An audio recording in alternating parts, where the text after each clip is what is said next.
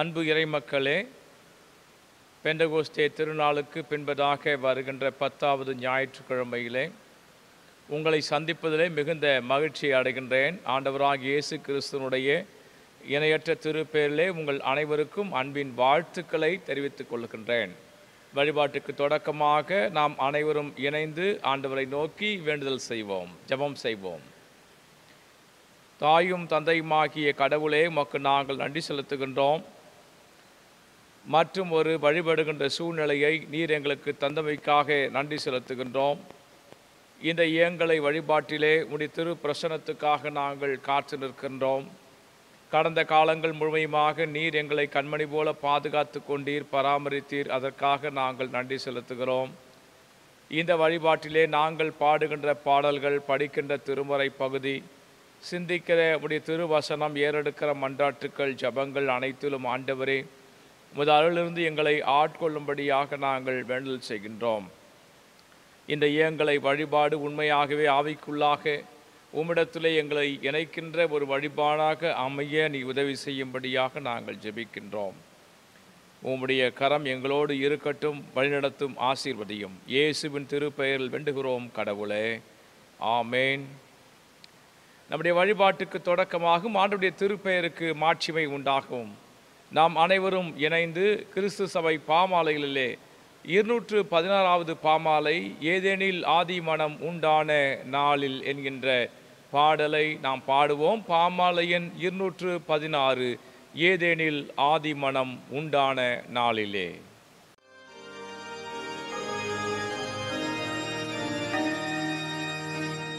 ஏதேனில் ஆதிமானம்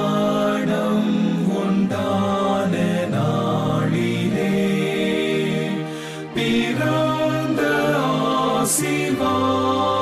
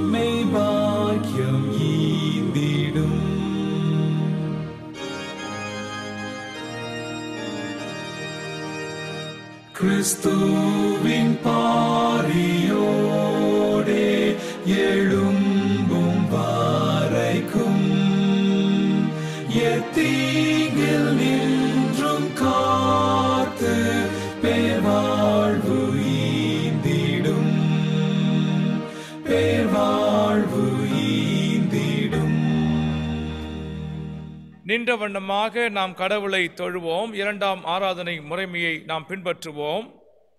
கடவுள் ஆவியாய் இருக்கிறார். அவரை தொழுது கொள்கிறவர்கள் ஆவியோடும் உண்மையோடும் அவரை தொழுது கொள்ள வேண்டும். நம்முடைய பிதாவாகிய கடவுளாகும் கர்த்தராகி இயேசு கிறிஸ்துவினாலும் உங்களுக்கு கிருபையும் சமாதானம் உண்டாவதாக.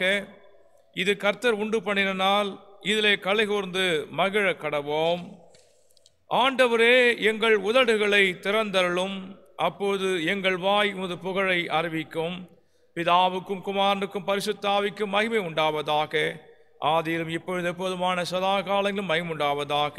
ஆமேன். திரியேக கடவுளை போற்றுவோம். எங்கள் தந்தையாம் கடவுளே உமது வல்லமையாலும் ஞானத்தாலும் எல்லாவற்றையும் படைத்து உமது குமாரனை எங்கள் இரட்சகராக தரும்படி உலகத்தில் அன்பு கூர்ந்தீரே உமை போற்றுகிறோம். குமாரனாம் கடவுளே பாவத்தை தவிர்த்து எல்லாவற்றிலும் எங்களைப் போல் மனிதனாகி எங்கள் பாவங்களுக்காக ஒப்பு கொடுக்கப்பட்டு எங்கள் நீதிக்காக உயிர் திரும்பியவரே உம்மை போற்றுகிறோம். பரிசுத்த ஆவியானவராகிய கடவுளே எல்லா உண்மைக்குள்ளும் எங்களை வழிநடத்தி கடவுளின் அன்பை எங்கள் நெஞ்சில் பொழிகிறவரே உம்மை போற்றுகிறோம். பிதா குமாரன் பரிசுத்த ஆவியாகிய கடவுளே உமக்கே எக்காலமும் எல்லா புகழும் மகிமையும் உண்டாவதாக. ஆமேன். நமக்கு பாவம் இல்லை என்போமானால் நம்மை நாமே வஞ்சிக்கிறவர்களாவோம். நமக்குள் உண்மை இல்லை. நமது பாவங்களை அறிக்கையிட்டால் பாவங்களை நமக்கு மன்னித்து எவ்வித அனிதமும் நீங்க நம்மை சுத்திகரிப்பதற்கு அவர் நம்பத்தக்கவரும் நீதியும் உள்ளவர். நான் எழுந்து என் தகப்படத்திற்கு போய் தகப்பனே பரத்துக்கு விரோதமாகவும் உமது பார்வையும் பாவம் செய்தேன். இனி உம்முடைய மகன் என்று சொல்லப்படுவதற்கு நான் பாத்திர நல்லன் உம்முடைய கூலிக்கால் ஒருவராக என்னை வைத்துக் கொள்ளும் என்பேன். கடவுள் ராஜ்யம் சமீபித்திருக்கிறது மனம் திரும்பி சுவிசேஷத்தில் நம்பிக்கை வையுங்கள். நமது பலவீனங்களுக்காக பரிதவிக்க முடியாத பிரதான ஆசாரி நமக்கு இராமல் எல்லா நம்மை போல் சோதிக்கப்பட்டும் பாவமில்லாத பிரதான ஆசாரியரே நமக்கு இருக்கிறார்.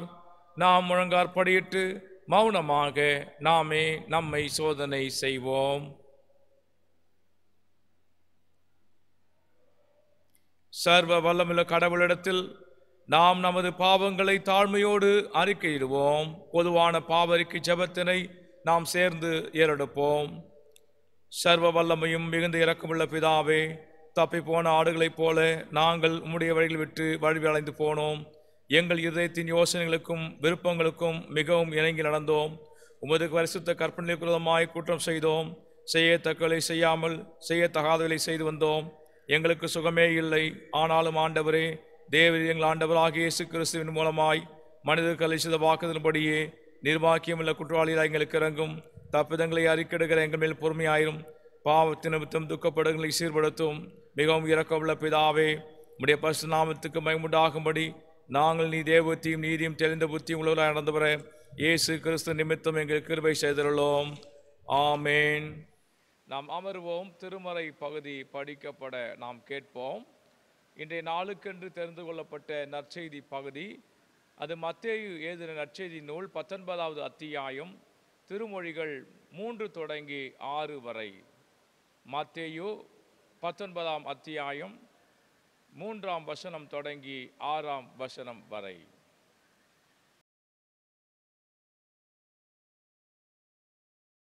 அப்பொழுது பரிசேயர் அவரை சோதிக்க வேண்டுமென்று அவரிடத்தில் வந்து புருஷனானவன் தன் மனைவியை எந்த முகாந்தரத்தினாலாகிலும் தள்ளிவிடுவது நியாயமா? என்று கேட்டார்கள். அவர்களுக்கு அவர் பிரதியுத்தரமாக ஆதியிலே மனுஷரை உண்டாக்கினவர் அவர்களை ஆணும் பெண்ணுமாக உண்டாக்கினார் என்பதையும் இது நிமித்தம் புருஷனானவன் தன் தகப்பனையும் தாயையும் விட்டு தன் மனைவியோடே இசைந்திருப்பான். அவர்கள் இருவரும் ஒரே மாம்சமாய் இருப்பார்கள் என்று அவர் சொன்னதையும் நீங்கள் வாசிக்கவில்லையா? இப்படி இருக்கிறபடியினால் அவர்கள் இருவராயிராமல் ஒரே மாம்சமாயிருக்கிறார்கள். ஆகையால் தேவன் இணைத்ததை மனுஷன் பிரிக்காதிருக்க கடவன் என்றார். ஜெபம் செய்வோம். எங்களை அதிகமாக நேசித்து வழிநடத்துகின்ற தாயும் தந்தையுமாகிய கடவுளே உமக்கு நாங்கள் நன்றி செலுத்துகிறோம். இந்த நாளுக்காக நன்றி செலுத்துகிறோம். உம்முடைய திருவசனங்களை குறித்து சிந்திக்கும்படியாக நாங்கள் வந்திருக்கிறோம். எங்களுடைய இருதயத்துடைய சிந்தனைகளை நீர் ஒருமுகப்படுத்தி ஒருமுகப்படுத்தியறலும் நாங்கள் சிறுகவும் நீர் பெருகும் ஆண்டவரே. அடியேனே உம்முடைய சிலுவைக்கு பின்பதாக மறைத்து உமை வெளிப்படுத்தும்படியாக வேண்டுகிறேன். தடைகள் யாவற்றையும் நீக்கியல் இயேசுவின் திருப்பெயரில் வேண்டுகிறோம் கடவுளே. ஆமேன். அன்புக்குரியவர்களே இந்த மகிழ்ச்சி மிகு பெந்தகோஸ்தே திருநாளுக்கு பின்பதாக வருகின்ற பத்தாவது ஞாயிற்றுக்கிழமையிலே உங்கள் அனைவரையும் இறைமகன் இயேசுவுடைய இணையற்ற திருப்பேரலை அன்போடு கூட வாழ்த்துகிறேன். கடவுள் உங்களுக்கு வேண்டிய எல்லா விதமான அருளையும் ஆற்றலையும் அளவில்லாமல் தந்து வழிநடத்துவாராக. இந்த நாளிலே நம்முடைய சிந்தனைக்கென்று கொடுக்கப்பட்டிருக்கின்ற தலைப்பு திருமணம் உடன்படிக்கையின் கொண்டாட்டம். Marriage a celebration of covenant இந்த திருமணம் என்று சொல்லும் பொழுது இந்த திருமண வழிபாட்டிலே சொல்லப்படுகிற பல கதைகளிலே ஒரு கதை எனக்கு நினைவுக்கு வருகிறது. நீங்களும் இந்த கதையை அறிந்திருப்பீர்கள். ஆனால் மறந்திருப்பீர்கள். நான் சொன்ன உடனே அந்த கதை உங்களுக்கு ஞாபகத்தில் வந்துவிடும். காட்டிலே இரண்டு மான்கள் இருந்ததாம். ஒரு ஆண் மான் ஒரு பெண் மான். இந்த இரண்டும் மிக அதிகமாக நேசித்து வந்தவையாம். எங்கு சென்றாலும் இந்த ஆண்மானும் பெண்மானும் ஒன்றாக சென்று ஒரு குடும்பமாகவே அவைகள் வாழ்ந்து வந்ததாம். இப்படி வளர்ந்து வருகின்ற காலகட்டத்தில் இந்த வறட்சி காலமும் வந்தது. இந்த வறட்சி காலம் வருகிற பொழுது காட்டிலே இருந்த எல்லா விதமான நீர் ஆதாரங்களும் கொஞ்சம் கொஞ்சமாக வற்ற தொடங்கியதாம். ஒரே ஒரு இடத்துல இருந்த குட்டைகளை மட்டும் தண்ணீர் இருந்ததாம். இப்படி இதிலே அனுதினமும் சென்று இந்த ஆண்மானும் பெண்மானும் விளையாடி துள்ளி விளையாடி அந்த இடத்திலே தண்ணீர் பருகி வருகணுமாம். ஒரு நாள் செல்லுகிற பொழுது இவர்களுக்கு மிகப்பெரிய ஆச்சரியம் காத்திருந்தது. ஏனென்று சொன்னால் அந்த இடத்திலே முழுமையாக அந்த குட்டை வற்றி போன நிலையில் கொஞ்சம் தண்ணீர் மட்டும் இருந்ததாம். அந்த கொஞ்சம் தண்ணீரை ஏதோ ஒரு மான் மட்டும் தன்னுடைய தாகத்துக்காக குடிக்கக்கூடிய அளவிலே இருந்ததாம். உடனடியாக ஒரு மான் சொன்னதாம் ஆண்மான் சொன்னதாம் பெண்மானை பார்த்து நீ மட்டும் குடித்து விடு. எனக்கு தாகத்துக்கு தண்ணீர் இல்லை என்றால் பரவாயில்லை. நான் தாங்கிக் கொள்வேன் என்று சொன்னதாம். பெண்மான் சொல்லியதாம் ஆண்மானை பார்த்து இல்லை இல்லை. நீ பருகிக்கொள். நான் தாங்கிக் கொள்கிறேன் என்று சொன்னதாம். ஆக இப்படி இவர்களுக்குள்ளாக அதிகமாக இந்த பிரச்சனை யார் முதல்ல தண்ணீர் குடிப்பது என்கிற பிரச்சனை ஏனென்றால் அங்கே இருப்பது ஒரு மான் குடிக்கக்கூடிய அளவுக்கு தான் தண்ணீர் இருக்கிறது. இப்படி பேசிக்கொண்டு இருக்கிற போது இவர் ரெண்டு பேரும் ஒரு சமரசம் செய்து கொண்டாகலாம் சரி சரி நாம் ரெண்டு பேருமே குடிப்போம் ஒரே நேரத்தில் என்று குடிக்க தொடங்கியதாம். இப்படி குடிக்க தொடங்கிய போது ஆண்மானும் குடிக்க தொடங்கியது பெண்மானும் குடிக்க தொடங்கியது. ஆனால் குட்டையில் இருந்த தண்ணீர் மட்டும் குறையவே இல்லையாம். ஏன் குறையவில்லை என்று சொன்னால் ஆண்மான் பெண்மான் குடிக்கட்டும் என்று இந்த தண்ணீரை குடிப்பது போல பாசாங்கு பண்ணியதாம். பெண்மானும் ஆண்மானை பார்த்து ஆண்மான் குடிக்கட்டும் என்று சொல்லி பாசாங்கு செய்தாம். கடைசியில் அவர்கள் இரண்டுமே தண்ணீரை பருகவில்லையாம். ஏனென்றால் ஒருவருக்கு ஒருவர் ஆண்மானும் பெண்மானும் அன்பு வைத்ததினாலே அவர்கள் இப்படிப்பட்ட நிலைப்பாட்டை எடுத்தன என்பதை குறித்து சொல்லுவார்கள். ஆக திருமணம் என்பது ஒரு உடன்படிக்கையின் கொண்டாட்டம் என்பதை நாம் புரிந்து கொள்ள வேண்டும்.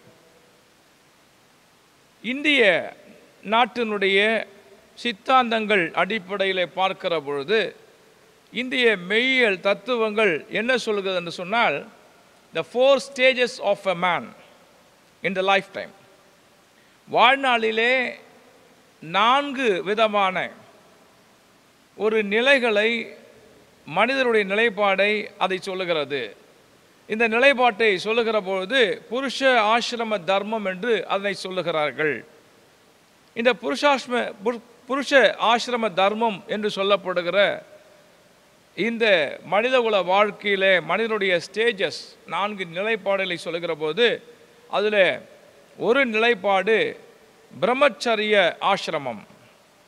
அடுத்து கிரகஸ்த ஆசிரமம். அடுத்து வனப்பிரஸ்த ஆசிரமம். அடுத்து சந்நியாச ஆசிரமம். ஆக முதல் இருபத்தைந்து ஆண்டுகள் ஒரு மனிதன் இந்த உலகத்தில் பிறக்கிற பொழுது அவர் பிரம்மச்சரிய ஆசிரமத்தில் இருக்கிறார். அந்த இருபத்தைந்து ஆண்டுகள் கழிந்த உடனே அவர் கிரகஸ்த ஆசிரமத்துக்கு அவர் செல்லுகிறார். இந்த கிரகஸ்தம் என்று சொல்லுகிற பொழுது கிரகம் என்று சொன்னாலே வீடு என்று பொருள். அதான் சொல்லுவாங்க கிரக பிரவேசம் என்று சொல்வார்கள். அதாவது புதுமனை புகு புகுவது என்பது கிரக பிரவேசம் என்று சொல்வார்கள். கிரகம் என்று சொன்னால் அது ஒரு வீடு கிரகஸ்த ஆசிரமம். ஆக இந்த அடுத்த கிரகஸ்த ஆசிரமத்துக்குள்ளாக அடுத்த இருபத்தைந்து ஆண்டுகளுக்குள்ளாக நுழைகின்ற அந்த ஒரு நிகழ்வு தான் ஒரு மேரேஜ் திருமணம் என்பதன் மூலமாக அது முன்னிலைப்படுத்தப்படுகிறது. Marriage is the initiation ceremony to enter into griha griha ashram நிலை. இந்த கிரகாசிரம நிலைக்கு மேலாக நாம் செலக வேண்டும். கிரகஸ்த ஆசிரம நிலைக்கு செல்ல வேண்டும் என்பதற்காக இந்திய மெய்யியல் திருமணம் என்கின்ற ஒரு செயல்பாட்டினை ஒரு சடங்கினை முன்வைக்கின்றார்கள். இந்த கிரகம் என்று சொல்வது இந்த எபிரயத்தில் பெய்த் என்கின்ற வார்த்தையை சொல்லுகிறார்கள். அந்த பெய்த் என்கின்ற வார்த்தை ஹவுஸ் என்று பொருள்படும். கிரேக்கத்தில் ஒய்க்கியா என்று சொல்வார்கள். கூடி இருக்கின்ற ஒரு இடம். அது ஆங்கிலத்திலும் சரி தமிழிலும் சரி புரிந்து கொள்கிற போது வீடு அல்லது இல்லம் என்று புரிந்து கொள்ளப்படுகிறது. ஒருவேளை திருமறையிலே த ஹவுஸ் ஆஃப் இஸ்ரேல் இஸ்ரேவேல் வீட்டார் என்று சொல்கிற பொழுது அதில் வீட்டில் இருக்கிற எல்லா மக்களையும் குறிக்கின்ற அல்லது அந்த இனத்துக்குடைய மக்கள் அனைவரையும் குறிக்கின்ற ஒரு சொல்லாட்சியாக அது இருக்கிறது.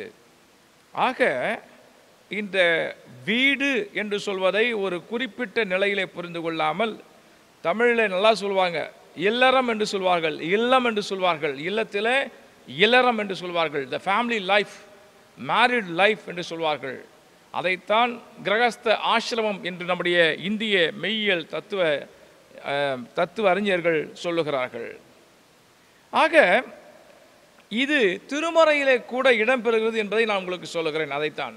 ஏதோ இந்திய மெய்யிலே மட்டுமே இந்த கிரகஸ்தம் இருக்கிறது என்று நினைக்காமல் கடவுளும் இப்படிப்பட்ட திருமணம் என்கின்ற ஒரு ஏற்பாட்டினை குடும்ப வாழ்க்கையை அமைப்பதற்காக அவர் வைத்திருக்கிறார் என்று நான் சொல்ல விரும்புகிறேன். இந்த உடன்படிக்கை the covenant marriage a celebration of covenant என்று நாம் பார்க்கிறோமே இந்த உடன்படிக்கை என்பது பொதுவாக the agreement between two individual or groups ஒரு இரண்டு தனிப்பட்ட நபர்கள் அல்லது இரண்டு குழுக்கள் அவைகள் இணைந்தது தான் ஒரு உடன்படிக்கை. ஒருவேளை இந்த உடன்படிக்கை அது ஒருவர் அதில் பிரிந்து போகிறார் என்று வைத்துக் கொள்ளுங்கள். If an agreement is breach by one part the other part also be deported அடுத்த அந்த பிரிவும் அதிலிருந்து அவர்கள் வெளியே சென்று விடுகிறார்கள். சில சமயங்களிலே இப்படிப்பட்ட ஒரு பார்ட் ஒரு பகுதியினர் அந்த அக்ரிமெண்ட்டில் வெளியே போனாலும் கூட த கவனண்டல் ஐடியா என்பது இன்னொருவரிடத்திலையும் அது மனதிலே இருக்கிறது என்பதை நான் உங்களுக்கு சொல்ல விரும்புகிறேன். அதே விதமாகத்தான் கடவுளும் கூட இஸ்ரேல் மக்கள் தங்களுடைய உடன்படிக்கையை அவர்கள் மீறி சென்றாலும் கடவுள் அவர்களுடன் மீது வைத்த அந்த அன்பை ஒரு பக்கம் வைத்துக்கொண்டே அவர் இருந்தாராம். God kept is covenantal relationship with the even though they forsake, even though they left the presence of God. கடவுளுடைய அந்த இருத்தல் நிலையை விட்டு அவர்கள் தூரம் போனாலும் கூட கடவுளுடைய அந்த உடன்படிக்கை அவளோடு கூட இருந்தது எனவே தான் இந்த திருமணம் என்று சொல்லுகிற போது கடவுள் ஆணையும் பெண்ணையும் ஒன்றாக இணைத்து ஒரு குடும்ப வாழ்க்கையை அமைப்பதற்கு இது ஒரு முக்கியமான இன்ஸ்டிடியூஷனாக அமைந்தது என்பதை நாம் புரிந்து கொள்ள வேண்டும். திருமறையின் அடிப்படையில் பார்க்கிற பொழுது இந்த குடும்ப வாழ்வு என்பது கடவுளாலே உருவாக்கப்பட்டது. அதைத்தான் அங்கே பார்க்கிற போது காட் வு found that it is not good to man to be alone put into the family and established family relationship and marriage covenant மனிதன் தன்மையாக இருப்பது நல்லதல்லது என்று சொல்லி அவருக்கு துணையை ஏற்படுத்தி குடும்ப உறவிலே கொண்டு போய் அவரை சேர்ப்பது எனவே தான் இந்த திருமணம் என்பதை கூற கடவுள் முன்னிறுத்தினார். கடவுள் இதை வழிநடத்தினார் என்பதை நாம் புரிந்து கொள்ளுகிறோம். எனவே கத்தோலிக்க அன்பர்கள் ஏழு சாக்கிரமந்தங்களை வைத்திருக்கிறார்கள். அந்த ஏழு சாக்கிரமந்தங்களே திருமணத்தையும் ஒரு சாக்கிரமதாக வைத்திருக்கிறார்கள். ஒருவேளை நாம் ரிஃபார்ம்டு சர்ச்சஸ் என்று சொல்லுகிற சீர்திருத்த கிறிஸ்தவர்கள் நாம் அவிதமான நிலைப்பாட்டை எடுப்பது கிடையாது. நாம் இரண்டு சாக்கிரமந்தங்களை மட்டுமே முதன்மைப்படுத்துகிறோம். ஒன்று திருமுழுக்கு இன்னொன்று திருவிருந்து. ஆனால் கத்தோலிக்கர்கள் அப்படி அல்ல. திருமணத்தையும் ஒரு சாக்கிரமதாக வைத்து அதை முதன்மைப்படுத்துகிறார்கள். நாம் திருமணத்தை ஹோலி மேட்ரிமணி என்று நாம் அழைக்கின்றோம். தூய திருமணமாக அதை பாவிக்கின்றோம். அதே சமயத்தில் இந்த திருமணம் என்பதை குறித்து பல்வேறு விதமான சிக்கல்கள் இன்றைக்கு எழும்பிக் கொண்டிருக்கிறது. கட்டாயம் திருமணம் அவசியமா? திருமணம் ஆகித்தான் வாழ வேண்டுமா? ஏன் லிவிங் லிவிங் டுகெதர் என்று சொல்ல அல்ல அந்த அளவிலே ஒருவருக்கொருவர் திருமணம் ஆகாமலே இணைந்து வாழக்கூடாதா? அல்லது திருமண முறிவு டிவோர்ஸ் மனவிலக்கு இதை குறித்து பல்வேறு சர்ச்சைகள் இருக்கிறது. ஒரு திருமணம் செய்வது உடனே மனவிலக்கு செய்வது மறுபடியும் இன்னொரு திருமணம் செய்வது மனவிலக்கு செய்வது. இங்கே ஒரு இரண்டு குழந்தை அங்கே ஒரு குழந்தை. இப்படி பிள்ளைகளுடைய வாழ்க்கை நிலைப்பாடு எப்படி போனால் எனக்கு என்ன? நாங்கள் லைஃப் பார்ட்னர்ஸ் நாங்கள் சேர்ந்து வாழ்வோம் பிரிந்து வாழ்வோம் நாங்கள் மனவிலக்கு பெற்று வாழ்வோம் என்ற நிலை இன்றைக்கு இருக்கிறது. அது ஒரு பக்கம் இருக்க ஒரே இனத்தை சேர்ந்தவர்கள் ஓரின பாலின திருமணங்கள். இப்படிப்பட்ட திருமணங்களும் இன்றைக்கு சட்டப்பூர்வமாக அனுமதிக்கப்பட்ட ஒன்றாக இருக்கின்றது ஆக இப்படியெல்லாம் ஒரு பக்கம் இந்த திருமணத்தை குறித்த ஒரு சர்ச்சை ஆண் பெண் திருமணம் என்பது இன்றைக்கு பல சர்ச்சைக்குரிய ஒன்றாக மாறிப்போகின்ற சூழ்நிலையிலே நான் உங்களோடு கூட ஆணும் பெண்ணும் இணைந்து திருமண வாழ்க்கை நடத்துகின்ற அந்த திருமண வாழ்வை குறித்து நான் உங்களோடு கூட பேச விரும்புகிறேன். ஒருவேளை திருமணம் என்பது அந்த நாளிலேயே தொடங்கி அந்த நாளிலேயே அது நிறைவுறுகிறது முழுமை பெறுகிறது என்று சொல்ல முடியாது.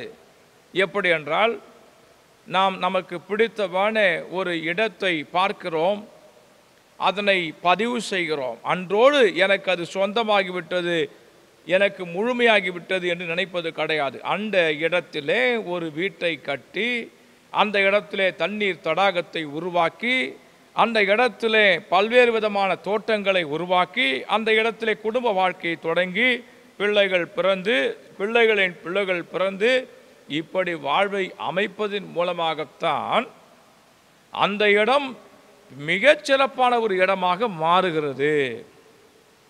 அதே விதமாகத்தான் திருமணம் என்பதும் கூட. ஏதோ தொடக்கத்திலே ஆணும் பெண்ணும் ஒன்றாக இணைக்கப்படுகின்ற அந்த குடும்ப வாழ்வுக்கான ஒரு செரிமணியாக அதை எடுத்துக்கொள்ளாமல் அதன் பின்பதாக படிப்படியாக இந்த தொடக்கம் அது முழுமை பெறுவதற்காக முழு அளவிலே நம்மை ஈடுபடுத்தி கொள்ள வேண்டும் என்பதற்காக இந்த திருமண வாழ்வு என்பதை இதனோடு பொருத்தி காண்பிக்க விரும்புகிறேன். எந்த அளவிலும் இதனும் இந்த நிலப்பதிவும் திருமண பதிவும் ஒன்றாக அமைவது கிடையாது ஆனால் பொருத்தி காண்பிக்க விரும்புகின்றேன். ஆக இந்த புரிந்து கொள்வதின் அடிப்படையில் திருமணம் என்பதை குறித்த சிறப்பான சில கருத்துக்களை உங்களோடு கூட நான் எடுத்து வைக்க விரும்புகிறேன். முதலாவதாக marriage is a covenant which is instituted by God திருமணம் என்கின்ற உடன்படிக்கை கடவுளால் உருவாக்கப்படுகிறது. இங்கே ஒரு கேள்வியை எழுப்புகிறார்கள் திருமறையிலே. குறிப்பாக நற்செய்தி பகுதியில் நாம் படிக்க கேட்டோம். இந்த நற்செய்தி பகுதியிலே மத்திய நற்செய்தினுள் பத்தொன்பதாவது அத்தியாயம் மூன்றாவது வசனத்தில் பரிசேயர் அவரை அணுகி அவரை சோதிக்கும் நோக்குடன் ஒருவர் தம் மனைவியை எக்காரணத்தையாவது முன்னிட்டு விளக்கிடுவது முறையா என்று கேட்டார்கள் some Pharisees came to him and to test him they ask is it lawful for a man to divorce his wife for any cause ஏதாவது காரணத்துக்காக தன்னுடைய மனைவியை ஒருவன் மனவிலக்கு செய்ய முடியுமா பரிசெயரிலிருந்து ஒரு கூட்டம் அங்கே ஒரு விளக்கத்தை கேட்கிறது. ஏனென்று சொன்னால் எப்படியாவது இயேசுவை சிக்க வைக்க வேண்டும் கேள்வியிலே அவரை மாற்றிவிட வேண்டும் என்பதுதான் அவருடைய நோக்கம். மனவிலக்கை குறித்து இவர் என்ன சொல்லுகிறார்? திருமறை என்ன சொல்லுகிறது? இவர் என்ன சொல்லுகிறார்? என்ற கேள்விதான் அங்கே எழும்புகிறது. இவர் என்ன சொல்லியிருக்க வேண்டும்? இது முறையா அல்லது முறை இல்லையா? இது சட்டமா அல்லது சட்டம் இல்லையா? Is it lawful or not இதுதான் இங்கே கேள்வி எழுப்பப்பட்டது. சட்டமா இல்லையா? ஒருவரை தள்ளி விழுவது சட்டமா இல்லையா? உடனே அவர் என்ன சொல்லுகிறார் தெரியுமா? திருமணத்தினுடைய மேன்மையை சொல்ல ஆரம்பிக்கின்றார். He started to preach the significance of the marriage அவர் அவர்கள் மத்தியிலே இந்த திருமணத்தினுடைய முக்கியத்துவத்தை குறித்து பேச தொடங்கி விடுகிறார். சின்ன வயசில் நான் தமிழருடைய கலாச்சாரம் என்கின்ற அடிப்படையில் ஒரு விஷயத்தை நான் படித்திருக்கிறேன். தமிழர்கள் என்ன சொல்வார்களாம்? ஒரு கடையிலே சென்று தமிழ் கடை என்று வைத்துக் கொள்ளுங்களேன். அவர்களிடத்தில் வெத்தலை இருக்கிறதா அப்படின்னு கடலை கேட்டா ஒருவேளை வெத்தலை இல்லைன்னா அந்த கடைக்காரர் வெத்தலை இல்லைன்னு சொல்ல மாட்டாராம். அதுக்கு பதிலாக பாக்கு இருக்கிறது என்று சொல்வார்களாம். ஏனென்று சொன்னால் இல்லை என்பதை அவர் சொல்லக்கூடாதாம். வெத்தலை பா வெத்தலை இருக்கிறதா என்று சொன்னால் பாக்கு இருக்கிறது என்று சொல்வார். பாக்கு இருக்கிறதா சுண்ணாம்பு இருக்கிறது என்று சொல்வாராம். அதனுடைய அடிப்படை நோக்கம் என்ன என்று சொன்னால் எதையுமே இல்லை என்று சொல்லக்கூடாது. அதே விதமாக இங்கே கேட்கப்பட்ட கேள்வி எங்கே இருக்கிறது? ஒருவர் தம் மனைவியை மனவிலக்கின் மூலமாக அவர் விலக்கிவிட முடியுமா என்று ஒரு கேள்வி எழுப்புகிற பொழுது அதற்கு விளக்கத்தை கொடுக்க முயற்சி செய்கிறார். வெறும் மூணே மூணு வசனம். அதுதான் ரொம்ப ரொம்ப ஆச்சரியமாக இருக்கிறது. இன்றைக்கி கூட இப்படி ஒரு கடினமான ஒரு நெருடலான ஒரு கேள்வியை நக்கலான ஒரு கேள்வியை இயேசுவிடத்தில் கேட்டார்கள் என்று சொன்னால் அதை மூன்று வசனத்துக்குள்ளாக எவ்விதமாக தெளிவான பதிலை கொடுக்கிறார் என்பதுதான் திருமணத்தினுடைய மேன்மையை குறித்து இயேசு இந்த உலகத்திற்கு கொடுத்த புரிந்து கொள்ளுதலாக இருக்கிறது. இந்த விளக்கம் மூன்று அங்கே நான்கு ஐந்து ஆறு வசனங்களில் மட்டும் முடியவில்லை. தொடர்ந்து ஏழு எட்டு ஒன்பது பத்து பதினொன்று பன்னிரெண்டு வசனங்கள் வரை அது நீண்டு கொண்டே செல்கிறது. ஆனால் இயேசு இந்த மூன்றே மூன்று வசனத்தின் அடிப்படையிலே இந்த விளக்கத்தை சொல்லி முடித்து விடுகிறார். அவர் என்ன சொல்லுகிறார் தெரியுமா? மத்திய பத்தொன்பதாம் மத்தியம் நான்காவது வசனத்தில் அவர் மறுமொழியாக படைப்பின் தொடக்கத்திலேயே கடவுள் ஆணும் பெண்ணுமாக அவர்களை படைத்தார் என்று நீங்கள் மறைநூலிலே வாசித்ததில்லையா என்று கேட்டார். He answered have you not read that the that the one who made them at the beginning made them male and female அவர்களை உருவாக்கினவர் அவர்களை ஆணும் பெண்ணுமாக தொடக்கத்திலே உருவாக்கினார் என்பதை நீங்கள் கேள்விப்படவில்லையா? இது எவ்வளவு ஆழமான ஒரு பதிலாக இருக்கிறது பாருங்கள். அவர்களை கடவுள்தான் ஆணும் பெண்ணுமாக படைத்தார். கடவுள்தான் அவர்களை உருவாக்கினார். கடவுள் உருவாக்கி கடவுள் ஆணும் பெண்ணுமாக குடும்ப வாழ்க்கையை உருவாக்கி இருக்கிற அந்த கடவுள் அவருக்குத்தான் அவர்களை பிரிக்க அதிகாரம் இருக்கிறதே தவிர உங்களுக்கு அதிகாரம் இல்லை என்பதை எவ்வளவு தெளிவாக சொல்லுகிறார் என்று நீங்கள் பாருங்கள்.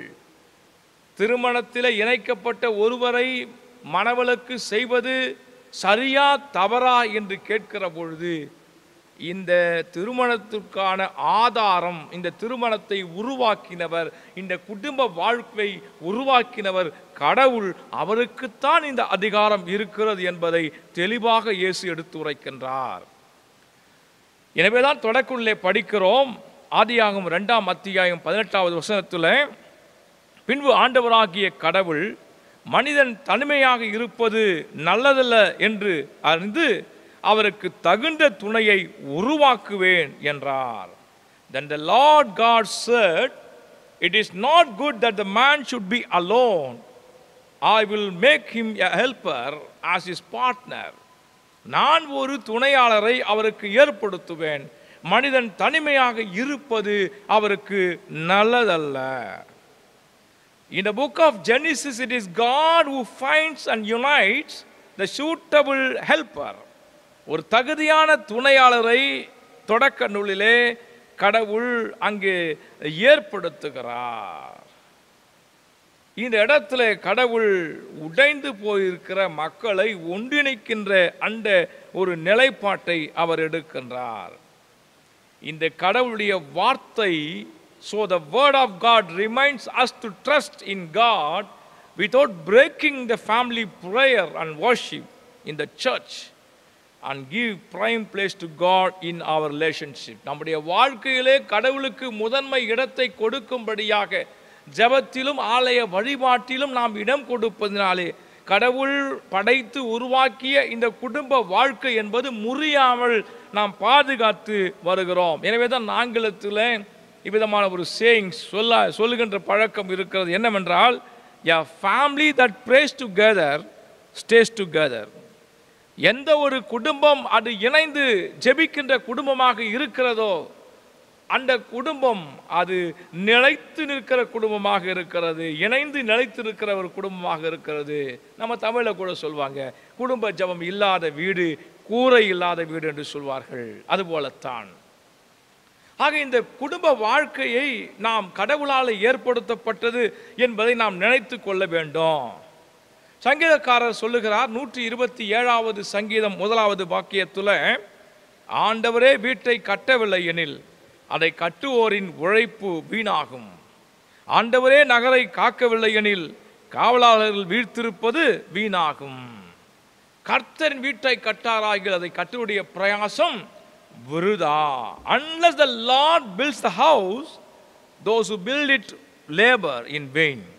Unless the lord guards a city the god the god keeps watch in vain. கர்த்தர் நகரத்தை காவாராகில் காவலாளியுடைய பிரயாசம் விருதா? கர்த்தர் வீட்டை கட்டாராகில் கர்த்தருடைய பிரயாசம் விருதா? ஆண்டவர் வீட்டை கட்டவில்லை என்று சொன்னால் இந்த இடத்துல வீடு என்று சொல்லுகிற போது நாம் கட்டுகிறோமே கல்லாலான செங்கல்லாலான வீடு அல்ல. மாறாக குடும்ப வாழ்க்கையை கட்டுகிறவர் கடவுள். அவர் குடும்ப வாழ்க்கையை கட்டவில்லை என்றால் நாம் கட்டுகிறவர்கள் அதனுடைய பிரயாசம் வீணாக போகிவிடும் என்பதைத்தான் இந்த பகுதி நமக்கு எடுத்துரைக்கிறது. ஆக திருமணம் கடவுளால் ஏற்படுத்தப்பட்டிருக்க அதனை முறித்துவிட முயற்சி செய்வது என்பது கடவுளுடைய திருத்திட்டத்திற்கு மிகவும் எதிரான ஒரு செயல்பாடாக இருக்கிறது. எனவே ஒவ்வொரு ஆண்டு விழா கொண்டாட்டங்கள் குறிப்பாக திருமண விழா ஆனிவர்சரி வெட்டிங் ஆனிவர்சரி இவைகள்லாம் நீங்கள் அனுசரிக்கிற போது உங்களுக்குள்ளாக இருக்கிற ஒரு திருமண அந்த உறவு அந்த திருமண பந்தம் இந்த மேரேஜ் என்பதனுடைய மேன்மை இவைகளை இணைத்து கட்டுகிறீர்கள் என்பதை நான் உங்களுக்கு சொல்ல விரும்புகிறேன். எனவே கடவுள் இணைத்திருக்கிற உங்களுடைய வாழ்க்கையை ஒருபோதும் மனவிலக்கின் மூலமாக நீங்கள் விளக்கக்கூடாது என்பதுதான் திருமறை நமக்கு கட்டளையிடுகிறது. திருமறையின் பேச்சிலே கேட்காதவர்கள் இன்றைக்கு மனவிலக்கு பெற்றுக்கொண்டிருக்கிறார்கள் கொண்டிருக்கிறார்கள். திருமணத்துடைய மேன்மையை புரிந்து கொள்ளாதவர்கள் இவ்விதமான நிலைப்பாட்டை எடுத்து கொண்டிருக்கிறார்கள். அதற்காக நான் மனவிலக்குக்கு எதிரானவன் என்று நான் சொல்ல விரும்பவில்லை. ஆனால் இரண்டு பேரும் புரிந்து கொண்டு வாழ்வோர்கள் என்று சொன்னால் திருமணத்துடைய மேன்மையை அவர்கள் பார்ப்பார்கள் என்பதை நான் சொல்ல விரும்புகின்றேன். இரண்டாவதாக திருமணம் என்கின்ற உடன்படிக்கை ஒருவரை ஒருவர் புரிந்து கொள்வதற்காக ஏற்படுத்தப்பட்டதாகும். The marriage is the covenant which is made to understand each other. ஒருவரை ஒருவர் புரிந்து கொள்வதற்காக திருமணம் ஏற்படுத்தப்பட்டிருக்கிறதாம். ஏற்கனவே நாம் சொன்ன விதமாக இந்த இந்திய மெய்யியல் தத்துவத்தில் கிரகஸ்தாசிரம் என்று சொல்லப்படுகிற அந்த ஒரு நிலை கிரகஸ்தம் என்று சொல்லுகிற அந்த நிலை இந்த கிரகஸ்த ஆசிரம் என்று சொல்லுகிற அந்த நிலையை is the place of knowing each other இந்த கிரகஸ்தம் இந்த திருமண வாழ்வு என்பதே ஒருவரை ஒருவர் அறிந்து கொள்வதற்கான ஒரு தலம் என்று சொல்லுகிறார்கள். இந்த மேரேஜ் என்கின்ற வார்த்தை திருமணம் என்கின்ற வார்த்தை பழைய ஏற்பாட்டிலே பயன்படுத்தப்படவில்லை. அதற்கு மாறாக என்ன சொல்லுகிறார்கள்? அவர் இவளை அறிந்தார் he knew her he knows her அவரை அவர் அறிந்திருக்கிறார். ஷீ நோஸ் இம் அவனை அவள் அறிந்திருக்கிறார். இப்படித்தான் சொன்னார்களே தவிர நோவிங் ஈச் அதர் இதுதான் marriage is a covenant which made to understand each other ஒருவரை ஒருவர் புரிந்து கொள்வதற்காக ஒருவரை ஒருவர் அறிந்து கொள்வதற்காக திருமணம் என்பது ஏற்படுத்தப்பட்டிருக்கிறது. நீதிமொழிகள் பத்தொன்பதாவது அத்தியாயம் பதினோராவது வசனத்தில் விவேகமுடையோர் எளிதில் சினமடையார். குற்றம் பாராதிருத்தல் நன்மதிப்பை தரும். Those with good sense are slow to anger and it is their glory to overlook and offence விவேகமுடையோர் எளிதிலே சினமடைய மாட்டார்கள். அதெல்லாம் இன்றைக்கி பார்த்தீங்கன்னா திருமண வாழ்க்கையில் ஒரு சின்ன பிரச்சனை தான். உடனே ஒரு பெரிய பிரச்சனையாக மாறும். என்ன என்று சொன்னால் என் வீட்டிலே இருந்து வந்தவர்களை நீங்கள் வா என்று அழைக்கவில்லை. நான் மட்டும் உங்கள் வீட்டிலிருந்து வரவங்களை வாங்க வாங்க என்று வருந்தி அழைக்கிறேனே. இது ஒரு சின்ன பிரச்சனை. வாங்க வாங்க யுவர் வெல்கம். இது சொன்னாலே முடிஞ்சு போச்சு. இதை சொல்லாதனால எத்தனையோ குடும்பங்கள் இன்றைக்கு பிரிந்திருக்கின்றன. ஒன்றும் இல்லை யாராவது ஒருத்தர் இந்த குடும்பத்திலிருந்து வருவார் இந்த மருமகளோ மகளோ மகனோ யாரோ ஒருத்தருங்க வாங்க தோத்திரம் என்று சொல்லியிருக்க மாட்டாங்க. வணக்கம் சொல்லியிருக்க மாட்டாங்க. என்ன திமிரு வணக்கம் சொல்லாத அந்த மகன் இருக்கிறான் அல்லது மகள் இருக்கிறான் என்று அதிலே பிரிந்த குடும்பங்கள் இருக்கின்றன. கோபம். சில குடும்பத்தில் திடீரென்று ஒரு கோபம்.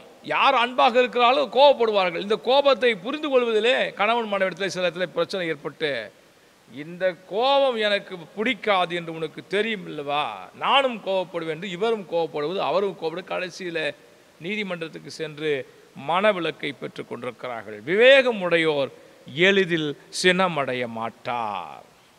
Those with good sense are slow to anger அவர்கள் கோபம் அடைய மாட்டார்கள் அவர்கள் சினம் அடைய மாட்டார்கள். ரெண்டாவதாக இந்த இடத்துல என்ன இயேசு சொல்லுகிறாரு? ஒருவர் மனவிலக்கினாலே ஒருவரை பிரித்து விடலாம் அல்லவா என்ற கேள்வி எழுப்புகிற போது அவர் மத்திய பது பத்தொன்பதாம் அதிகாரம் ஐந்தாம் வசனம் சொல்லுகிறார் மேலும் அவர் இதனால் கணவன் தன் தந்தையை விட்டு தாய் தந்தையை விட்டுவிட்டு தன் மனைவியோடே ஒன்றித்திருப்பான் இருவரும் ஒரே உடலாய் இருப்பார்கள்.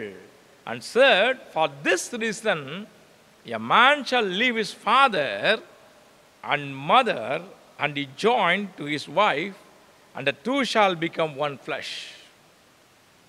இது நிமித்தமாக அவர்கள் ஒருவரை ஒருவர் அவர்கள் விட்டுவிட்டு தாய் தந்தையை விட்டுவிட்டு தன் மனைவியோட இசைந்திருப்பார். இருவரும் ஒரே உடலாக இருப்பார்கள். For this reason a man shall leave his father and mother and be join to his wife அந்த மனைவியோடு இசைந்திருப்பார். இதற்காகத்தான் இன்றைக்கு இருக்கிற பல்வேறு போராட்டங்கள். க- திருமணம் ஆகிய உடனே மனைவி அப்படியே அவருடைய கணவருடைய பெயரை அவருடைய கணவர் பேச்சை கேட்டு அப்படியே சென்று விட்டார் என்று குற்றச்சாட்டு. இன்னொரு பக்கம் கணவன் திருமணமான உடனே என்னுடைய மகன் என்னுடைய மருமகள் பேச்சை கேட்டுக்கொண்டு அப்படியே போய்விட்டார் இன்னொரு விஷயம். ஆனால் என்ன நினைக்கிறாங்க தெரியுமா? ஒவ்வொரு பெற்றோரும் நல்ல ஒரு மகனை மருமனாக பெற வேண்டும். ஒவ்வொரு பெற்றோரும் நல்ல மகளை மருமகளாக பெற வேண்டும். அல்லது என்னுடைய மகளை நான் நல்ல ஒரு இடத்திற்கு நல்ல பையனுக்கு திருமணம் செய்து கொடுக்க வேண்டாம். என்னுடைய மகனுக்கு ஏற்ற துணையை நான் கண்டுபிடிக்க. ரெண்டு பேரும் சந்தோஷமாக எப்போதும் இருக்க வேண்டும் என்பதுதான் திருமணத்தினுடைய பெற்றோருடைய மிக மிக முக்கியமான ஒரு எண்ணமாக இருக்கிறது. ஆனால் திருமணத்துக்கு பின்பதாக அவர்கள் தன்னுடைய மருமகளை குறித்தும் மருமகனை குறித்தும் அவர்கள் பிரச்சனைகளை எழுப்பிக் கொள்வதற்குதான் இன்றைக்கி யதார்த்த நிலையாக இருக்கிறது. காரணம் என்னென்னா அவங்க மேலே தப்பு இல்லைங்க. த பொசசிவ் நேச்சர் என் மகன் எனக்குத்தான் சொந்தம் என்று நினைக்கிற தாய்கள். என் மகள் எனக்குத்தான் சொந்தம் என்று நினைக்கிற அந்த தாய் தகப்பன்மார். இப்படி அவர்களுக்குள்ளாக இருக்கிற அந்த பாச போராட்டம் இன்றைக்கு இருவரும் இணைந்து வாழ்வதற்கு அனுமதிப்பது கிடையாது. ஒன்று சொல்லுகிறேன் திருமணம் ஆன உடனே உங்களுடைய பிள்ளைகள் ஒருவேளை உங்களுடைய மகன் உங்கள் பேச்சை கேட்காமல் உங்களுடைய மருமகளுடைய பேச்சை கேட்கிறார் என்று சொன்னால் நீங்கள் நினைத்தபடியே உங்களுடைய திருமணம் உங்களுடைய மகனுடைய திருமணம் வெற்றியாக முடிந்திருக்கிறது என்று சொல்லுவேன். திருமணத்துக்கு பின்பதாக உங்கள் மகள் உங்கள் பேச்சை கேட்காமல் உங்களுடைய மருமகனுடைய பேச்சை அவர் கேட்கிறார் என்று சொன்னால் திருமணம் வெற்றியாக முடிந்திருக்கிறது என்று நான் சொல்வேன். ஏனென்று சொன்னால் அவர்கள் ஒருவரை ஒருவர் புரிந்து கொண்டார்கள். இனிமேல் எப்படிப்பட்ட ஒரு வாழ்க்கையை அமைக்க வேண்டும் என்பதை அவர்கள் புரிந்து கொண்டார்கள். இதுதான் திருமணத்துடைய மேன்மை.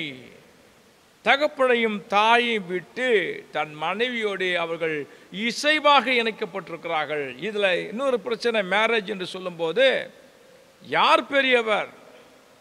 ஆண் பெரியவரா பெண் பெரியவரா யார் பெரியவர் என்ற பிரச்சனை இருக்கிறது.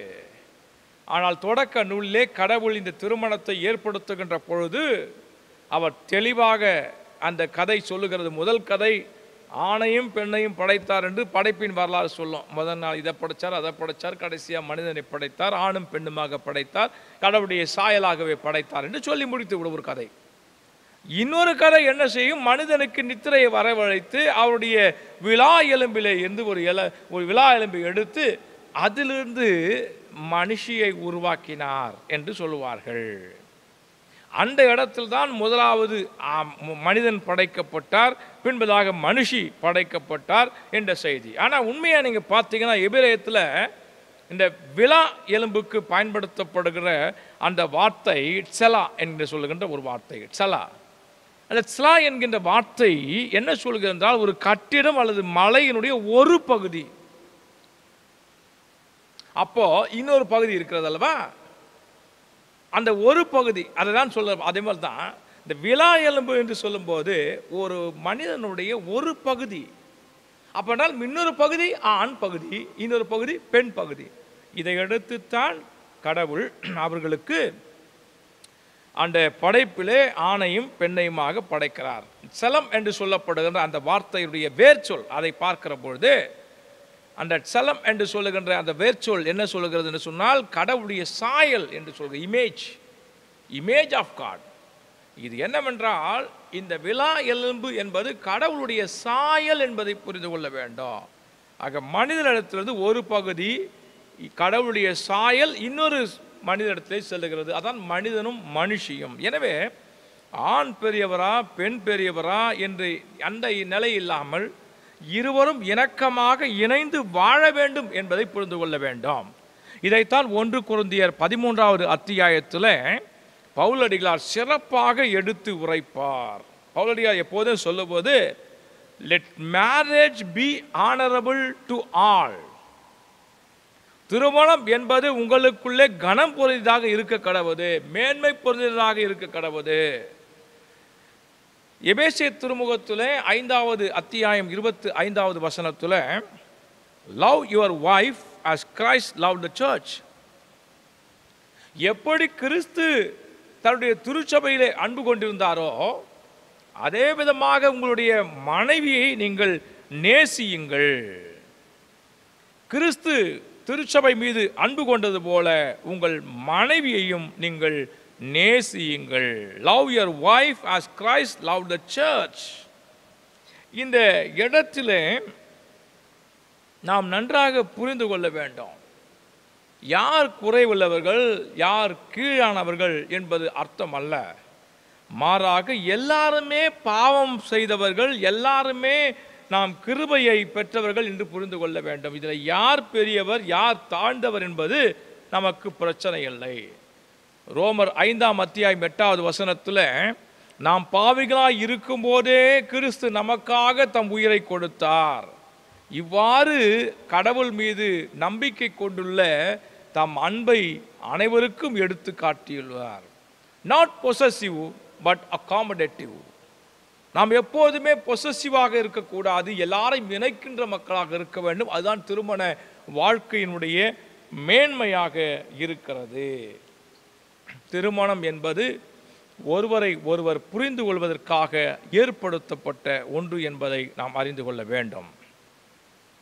மூன்றாவதாக நாம் பார்க்கிற பொழுது திருமணம் என்கின்ற உடன்படிக்கை ஒரே உடலாக இருவரும் இருப்பதற்காக ஏற்படுத்தப்பட்டதாகும்.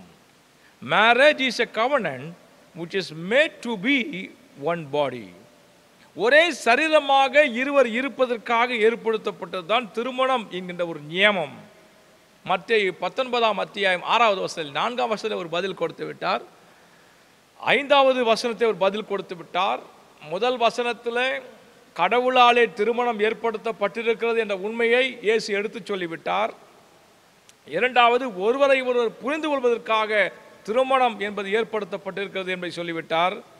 மூன்றாவதாக ஓருடலாக கணவனும் மனைவியும் மாறுவதற்காக திருமணம் ஏற்படுத்தப்பட்டிருக்கிறது. கேள்வி என்ன? கேள்வி என்ன?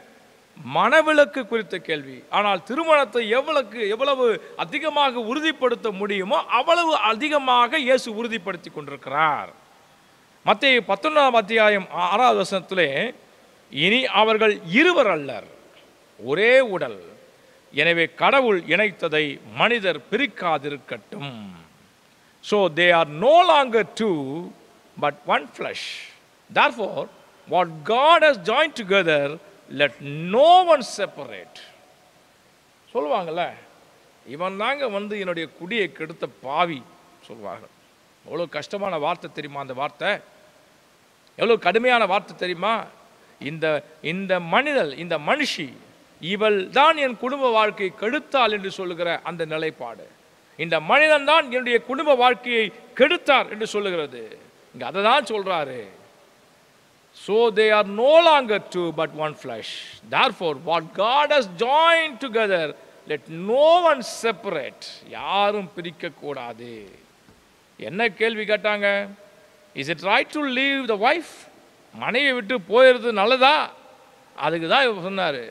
அதாவது யாரும் கடவுள் இணைத்து பிரிக்கக்கூடாது என்பதற்கு அடையாளமாக இயேசு இந்த வார்த்தைகளை பேசி கொண்டிருக்கிறார் அது மட்டும் இல்லை மத்திய பத்தொன்பதாம் அத்தியாயம் ஏழாம் வசனத்தில் the said to him why then did why then did Moses command us to give a certificate of dismissal அப்படின்னா ஏன் மணவளுக்கு சான்று மணவளுக்கு பண்ண வேண்டும் அவளை அனுப்பிவிட வேண்டும் என்று மோசை எங்களுக்கு கட்டளையிட்டு கொடுத்திருக்கிறார்? இதான் கேள்வி. அப்பா பதில் என்ன சொல்கிறாரு? But Jesus answered strongly it was not so in the beginning எப்பா நீ மோசே காலத்தை பற்றி பேசிட்டு இருக்க. நான் மோசேவுக்கு முந்தின காலம் கடவுள் மனிதனை படைத்த காலத்தை குறித்து நான் பேசி கொண்டிருக்கிறேன். நீ இடையில உன்னுடைய மனம் மிக மிக கொடூரம் உன்னுடைய மனம் கடினத்திமித்தமாக அந்த கட்டளையை மோசே பிறப்பித்திருக்கிறார். நான் மோசையுடைய காலத்திற்கு முன்பதாக இருக்கின்ற காலத்தை குறித்து பேசிக் கொண்டிருக்கிறேன். அந்த காலத்திலே மனிதன் தனிமையாக இருப்பது நல்லதல்ல என்று சொல்லி ஏற்ற துணையை கடவுள் உருவாக்கினார் என்று அங்கே சொல்கிறார். ஆக இந்த இடத்துல இயேசு சொன்ன அந்த விளக்கம் இருக்கிற அந்த மூணு வசனத்தில் அதை ஒழுங்காக புரிஞ்சுக்கிட்டோம்னா மனவிலக்கு என்பதிலே நாம் உள்ளே போகவே மாட்டோம். அவர் சொல்றாரு தொடக்கத்திலே கடவுள் ஆணும் பெண்ணுமாக அவர்களை படைத்தார். தமது சாயலாக அவர்களை படைத்தார் என்று சொல்லிவிட்டு அடுத்து சொல்லுகிறார் அவர்கள் தன் தகப்பனையும் தன் தாயையும் விட்டு தன் மனைவியோடு சேர்ந்திருப்பார். மனைவி தன் தகப்பனையும் தாயை விட்டு கணவனோடு சேர்ந்திருப்பார். அவர்கள் இருவரல்ல ஓருடலாய் இருக்கிறார்கள். இப்படிப்பட்ட எண்ணம் எப்போ நம்ம கணவன் மனைவி இடத்துல வருகிறதோ அவர்கள் வாழ்நாள் முழுவதும் அவர்கள் இணைந்து வாழ்வார்கள். ஐம்பத்தஞ்சு வருஷம் நாங்கள் குடும்ப வாழ்க்கை நடத்தினோம் என்று அண்மையில் ஒருவர் இடத்துல ஜபம் பண்ணிட்டார். எத்தனை போராட்டங்கள் அங்கே இருக்குமா? இருந்திருக்காதா? அவருடைய வாழ்க்கையில் எத்தனை போராட்டங்கள் இருந்திருக்கும்? எத்தனை சண்டை சச்சரவுகள் இருந்திருக்கும்? எத்தனை விட்டு கொடுத்தல் இருந்திருக்கும்? எத்தனை அன்பு பிசைகள் இருந்திருக்கும்? அவர்களுக்குள்ளாக பிள்ளைகள் மூலமாக பிறவரிடத்திலிருந்து எத்தனை பிரச்சனை வந்திருக்கும்? அத்தனை பிரச்சனையும் கடந்து ஒரு லாங் ரன் ஒரு நீண்ட ஓட்டம் அவர்கள் ஓடி இருக்கிறார்கள் என்று சொன்னால் அதுவல்லவா ஒரு திருமணத்தை மேன்மையாக்குகின்ற ஒரு விஷயம் என்று நான் உங்களுக்கு சொல்லுகிறேன். தவிர்க்க முடியாத காரணங்களாலே மனவிலக்கு வருகிறது அது அனுமதிக்கப்படுகிறது. அதை நான் குறித்து கிரிட்டிசைஸ் பண்ணல திறனாய்வு செய்யவில்லை. ஆனால் எப்படி நாம் மன வாழ்க்கையை அமைத்து திருமண வாழ்க்கையை மேன்மையாக கொண்டு செல்ல வேண்டும் என்பதுதான். தோல்வியிலே திருமண வாழ்க்கை தொடங்கலாம். ஆனால் தோல்வியில் அது முடியக்கூடாது. அது வெற்றியில் முடிய வேண்டும். இன்றைக்கு வெற்றியில் தொடங்கி பல திருமணங்கள் தோல்வியிலே முடிந்திருக்கின்றன. ஏமாற்றப்பட்டு விட்டோம் என்று அவர்கள் பிரிந்திருக்கிறார்கள். நீங்கள் ஏமாற்றப்படவில்லை. ஏமாற்றத்தை நீங்கள் தவிர்த்து நீங்கள் இன்னும் என்ன ஒரு படிநிலையை கடந்து செல்ல வேண்டும் என்ற முயற்சியை கடவுளுடைய துணையோடு எடுத்து விட்டீர்கள் என்று சொன்னால் மனவிலக்குக்கு இடமில்லை. எபேசியர் ஐந்தாம் அத்தியாயம் இருபத்தி ஓராம் வசனத்தில் அதாவது கடவுளுக்கு கீழ்ப்ப ஆண்டவருக்கு கீழ்ப்படியது போல உங்களுடைய கணவருக்கு கீழ்ப்படியுங்கள். ஒபீடியன்ஸ் இந்த இடத்த ரொம்ப தப்பாக நம்ம பல நேரத்தில் நாம் புரிந்திருக்கிறோம் என்று நான் ஞாபகப்படுத்த விரும்புகிறேன். ஹியூபோட்டாசெட்டா என்கின்ற வார்த்தை இங்கே பயன்படுத்தப்படுகிறது. அதாவது மியூச்சுவல் சப்மிஷன் என்ற வார்த்தை இங்கே பயன்படுத்தப்படுகிறது. டு ஒபே ஈச் அதர் திருமண வழிபாட்டில் கொள்வாங்க வாழ்விலும் தாழ்விலும் சுகத்திலும் சுகத்திலும் மரணம் பிரிக்கும் வரை உம்மோட நான் நன்றி அன்பு கூற அப்படி அப்படி பெண் சொல்லும்போது உமக்கு நான் கீழ்ப்பழிந்திருக்க என்ற ஒரு வார்த்தை இருக்கும். அதை இப்போது இருக்கின்ற ஆயர்கள்லாம் தவிர்த்து அதை வேறு விதமாக வாசிக்கிறார்கள். நோய் நான் பாராட்டுகிறேன். நான் கீழ்ப்படிந்திருக்க என்ற வார்த்தை. ஆனால் ஆணுக்கு அந்த மாதிரி வார்த்தை இருக்காது. கீழ்ப்படிந்திருக்க என்ற வார்த்தை இருக்காது. உம்மை நேசிக்கவும் உம்மை காப்பாற்றவும் வாக்கு கொடுக்கிறேன் முடிச்சுவார். ஆண் பெண் எப்படி பண்ணுவாங்க உம்மை நேசிக்கவும் காப்பாற்றவும் உமக்கு கீழ்ப்படிந்திருக்கும் என்று வாசிப்பாங்க. நான் வாசிக்கிறதுல வச்சுங்க. அந்த இடத்துல என்ன பிரச்சனை? அந்த கீழ்ப்படிந்தலை வச்சுக்கிட்டு நீ அந்த நாளில் வந்து கோயில் முன்னால் வந்து உனக்கு கீழ்ப்படிஞ்சிருக்கன்னு சொன்ன பத்தியா? இன்றைக்கி என்னை எழுத்து பேசுகிற பத்தியா? அப்படி இல்லை. அந்த கீழ்ப்படிதல் என்பதுக்குத்தான் அந்த ஹியூபோட்டாசெட்டாய் என்கின்ற கிரேக்க வார்த்தை அதனுடைய பொருள் என்னவென்று சொன்னால் மியூச்சுவல் சப்மிஷன். கீழ்ப்படிதல் என்பது இது இல்லை. நீங்கள் அவருக்கு கீழ்ப்படிவது அவர் உங்களுக்கு கீழ்ப்படிவது இப்படிப்பட்ட இணக்கமான ஒரு கீழ்ப்படிதல். இதை தவறாக நீங்கள் அர்த்தம் புரிந்து கொண்டு தமிழிலே பயன்படுத்தப்பட்ட கீழ்ப்படுதல் என்கின்ற வார்த்தையை வைத்துக்கொண்டு நீங்கள் பேசிக்கொண்டிருக்கிற மூல பாஷையிலே கிரேக்கத்தில் எழுதப்பட்ட அந்த வார்த்தையின் அடிப்படையிலே நீங்கள் அதை புரிந்து கொள்ள வேண்டும். இப்படி நீங்கள் புரிந்து கொண்டால்தான் ஓர் உடலாக நீங்கள் மாற முடியும். கிறிஸ்து திருச்சபைக்கு தலையாய் இருக்கிறார். திருச்சபை கிறிஸ்துவுக்கு உடலாக இருக்கிறது. அவ்விதமாக நீங்கள் கிறிஸ்துவனுடைய உடலாக கணவனுக்கு ஏற்ற மனைவியாக மனைவி நீங்கள் இருக்க வேண்டும் என்பதுதான் திருமலை சொல்லுகிறது. அப்படி என்று சொன்னால் இதில் ரெண்டு பேருக்கும் ஜாயிண்ட் ரெஸ்பான்சிபிலிட்டி இருக்கிறது.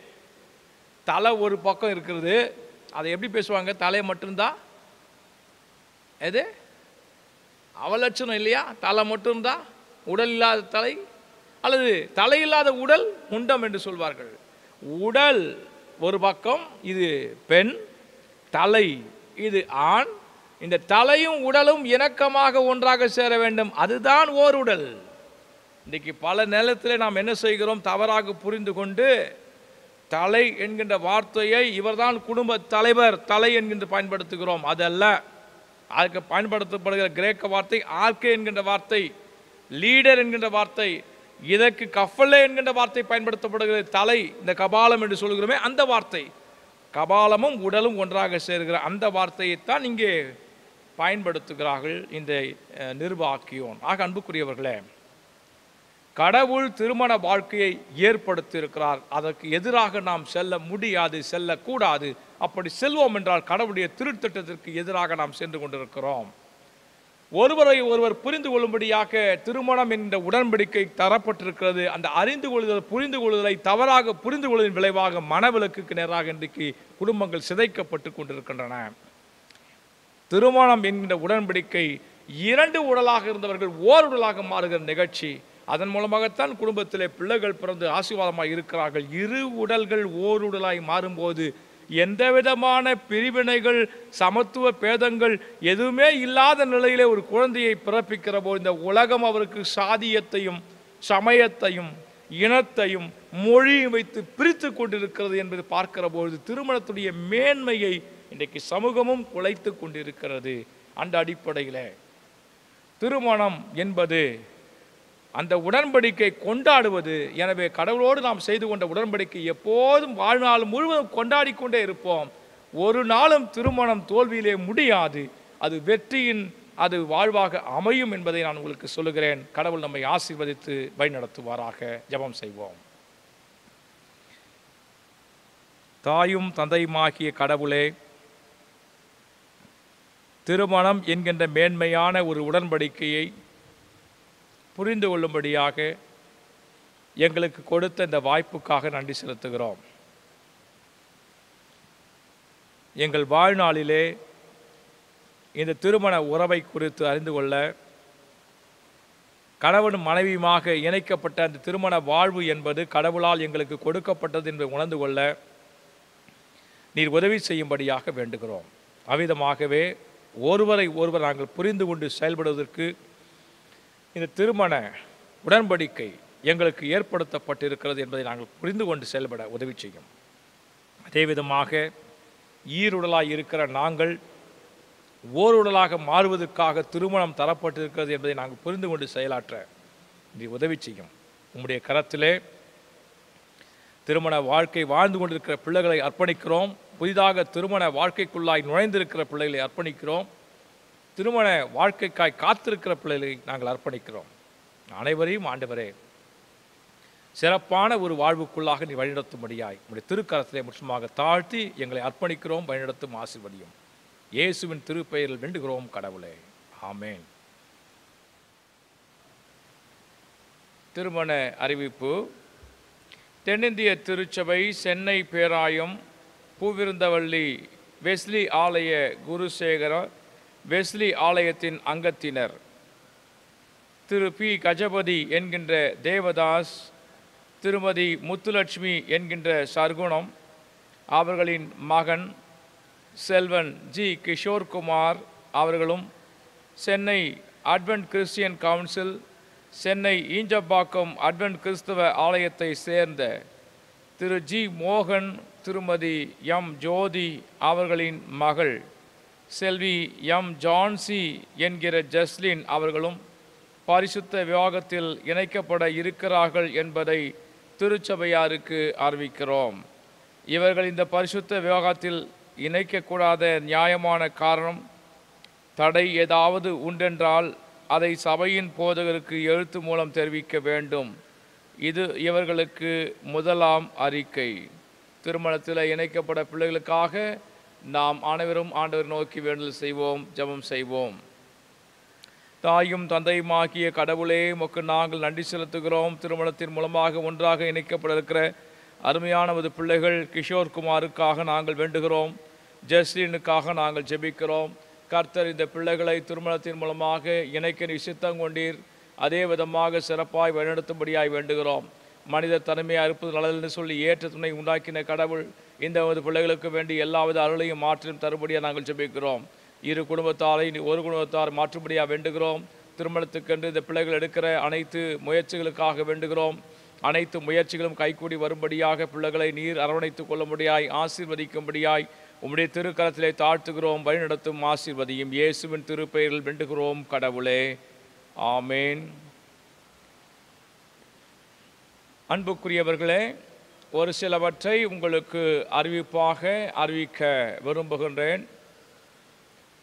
உங்கள் அனைவரும் இறைமகன் இயேசுவின் இணையற்ற திருப்பெயரிலே மறுபடியுமாக வாழ்த்துகிறேன். கடவுள் உங்களுக்கு வேண்டிய எல்லா அருளையும் ஆற்றலையும் அளவில்லாமல் தந்து வழிநடத்துவாராக.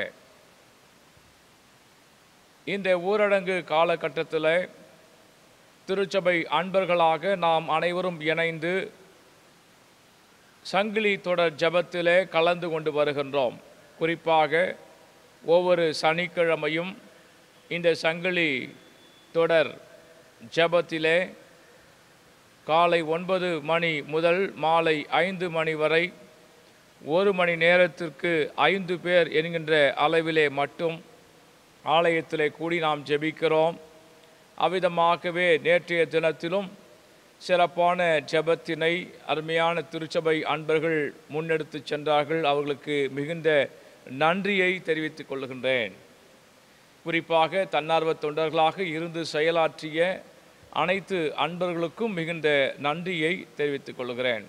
கடவுள் உங்களுடைய திருப்பணியை அதிகமாக ஆசீர்வதிப்பாராக. இந்த நாளிலே இந்த இயங்கலை சிறப்பாக நடக்கும்படியாக இந்த வழிபாட்டுக்கு துணை நின்று கொண்டிருப்பவர்கள் அருமை சகோதரர்கள் திரு ஜெட் செல்வராஜ் ஐயா அவர்கள் திரு எபினேசர் அவர்கள் திரு மேத்யூ அவர்கள் திரு ஜோஷ் அவர்கள் திரு ஜபராஜ் அவர்கள் திரு அலெக்ஸ் அவர்கள். உங்கள் அனைவருக்கும் மிகுந்த நன்றியை தெரிவித்துக் கொள்கிறேன். கடவுள் உங்களையும் உங்கள் குடும்பத்தாரையும் அதிகமாக ஆசீர்வதித்து பயன்படுத்துவாராக சென்ற வார காணிக்கை விவரம் சந்தா தொகைகள் ஐம்பத்து ஒன்பதாயிரத்து எண்ணூறு. கட்டிட நிதி ஆறாயிரத்தி நானூறு. ஆக மொத்தம் அறுபத்தி ஆறாயிரத்து இருநூறு வங்கியிலே செலுத்தப்பட்டிருக்கிறது. நான் ஏற்கனவே அறிவித்த வண்ணமாக நீங்கள் சந்தா தொகைகளை வார நாட்களிலே திங்கட்கிழமை முதல் வெள்ளிக்கிழமை வரை காலை பதினோரு மணி முதல் மதியம் இரண்டு மணி வரை நீங்கள் ஆலயத்தினுடைய அலுவலகத்தில் வந்து பொருளரிடத்திலோ அல்லது பொருளருடைய பிரதிநிதியிடத்திலோ நீங்கள் செலுத்தலாம்.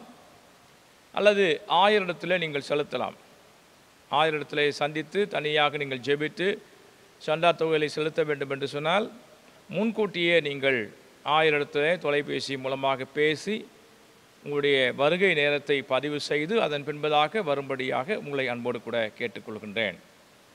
அதே விதமாக அநேகர் வந்து என்னை சந்தித்து ஆலய வழிபாடு இல்லை என்றாலும் உங்களை நீங்கள் அறிமுகம் செய்கிறீர்கள் உங்களுடைய குடும்பத்தை நீங்கள் அறிமுகம் செய்து கொள்கிறீர்கள் மிகுந்த மகிழ்ச்சிக்குரிய ஒரு அனுபவம். அப்படி நீங்கள் வருவதாக இருந்தாலும் முன்கூட்டியே நீங்கள் நீங்கள் தகவல் தெரிவிக்கும்படியாக உங்களை அன்போடு கூட கேட்டுக்கொள்கின்றேன். என்னுடைய அலைபேசி எண் eight one double four three zero eight double seven three. Eight one double four three zero eight double seven three எனவே நீங்கள் அலைபேசியிலே என்னை அழைத்து பேசி வந்து கலந்து கொள்ளும்படியாக உங்களை என்போடு கூட கேட்டுக்கொள்கிறேன் தொடர்ந்து நாம் திருச்சபை பணிகளுக்காக ஊக்கமாக ஜெபிப்போம் கடவுள் சீக்கிரத்தில் நம்முடைய வழிபாட்டுக்கு தொடங்குவதற்கான வழிவாய்ப்புகளை திறந்து தருவார் என்று நம்புகிறேன் அந்த நம்பிக்கையிலே காத்திருப்போம் கடவுள் ஆசீர்வதித்து வழிநடத்துவாராக நாம் மறுபடியுமாக அனைவரும் இணைந்து கிறிஸ்தவ இல்லறமே என்கின்ற கீர்த்தனையை நாம் பாடுவோம். அனைவரும் இணைந்து பாடுவோம். கிறிஸ்தவ இல்லறமே என்கின்ற பாடலை நாம் அனைவரும் இணைந்து பாடுவோம். கிறிஸ்தவ இல்லறமே கிறிஸ்தவ இல்லறமே சிறந்திட கிருபை செய்வீர் பரனே. கிறிஸ்தவ இல்லறமே சிறந்திட கிருபை செய்வீர் பரனே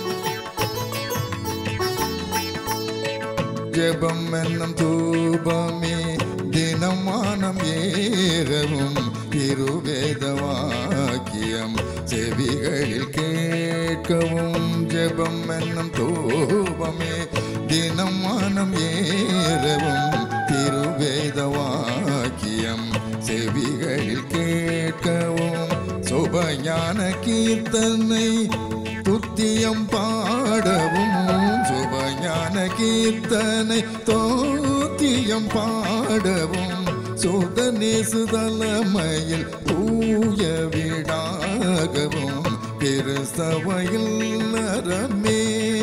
சிறந்திட கிருபை செய்வீர் பரனே.